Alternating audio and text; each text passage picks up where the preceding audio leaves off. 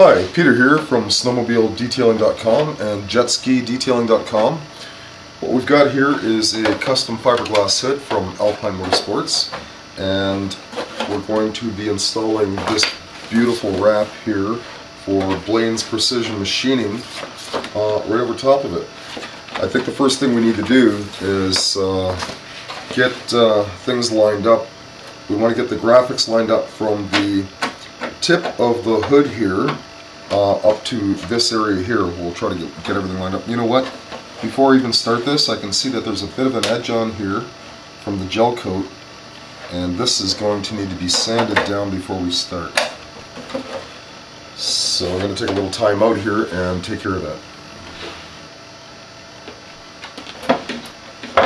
Hi, Peter here from snowmobiledetailing.com and jetskidetailing.com.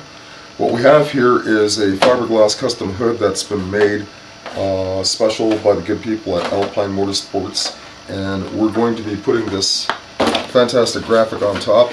This is for Blaine's Precision Machining and uh, first off I'm checking the edge here and I can feel that there's a bit of an overlap that's sticking up from the uh, gel coat from inside the mold.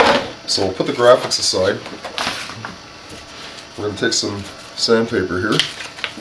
I'm using 220 and what I'll do is I'll just take uh, a bit of time. I'll pause the tape.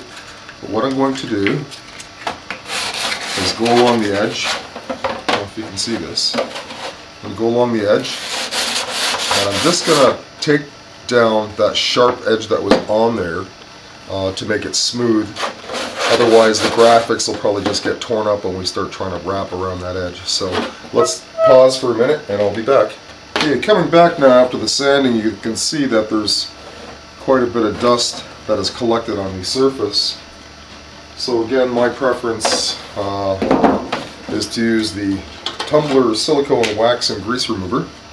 And I'll apply that liberally onto a cloth here. Put the can aside. I'll jump right in and I'm going to get a fresh start on the surface. Once I get so far, I'll flip my cloth around and be sure that I'm wiping it a second time to get the dust off the surface because that would prevent uh, getting full adhesion um, with the graphics that are going to be installed here.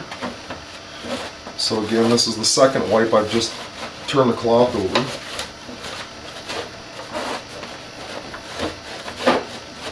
Get right into those holes. Get a quick wipe on the back because there's some leftovers there as well from when I was sanding. And even possibly just a quick third wipe can't hurt. It's all good. And there we go. Put that cloth aside. Let that evaporate. So again, we're going to first line up our graphics. I'll be lining up, I've left a little bit of white on the edge here. If you decide, you can trim that right off so it's easier to line up to your edge here. However, I'm going to be working with that and I'll just pull from the white edge until I see that I'm lining up on the, uh, the sharp edge here. I can see through the graphic.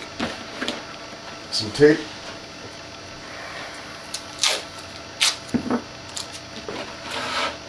I'm going to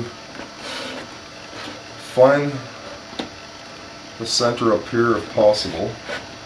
And I know that comes back like that. And what I am hoping for here is when I get my start is that everything lines up properly in relation to where these openings are. So I've got to plan this out quite well before I start applying. I'm just getting a feel right now where it's all going to be.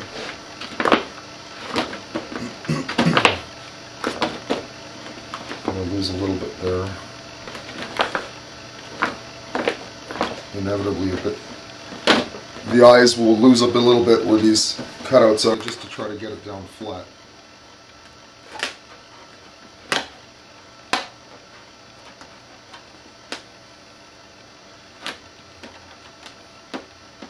I'm using my lighting here in the room and I'm taking on a different perspective from time to time so that I can see if there's an air bubble trap and I can see from the shadow based on my lighting where they appear.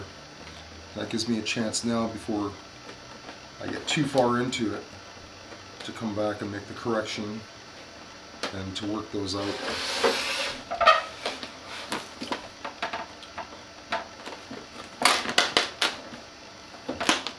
Again, nothing difficult about doing this job. It's just being patient and taking your time.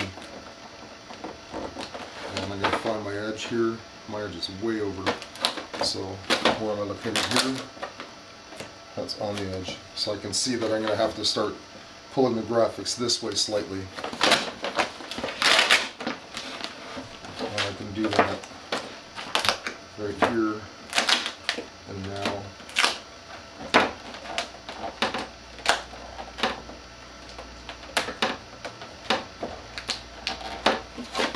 Sorry.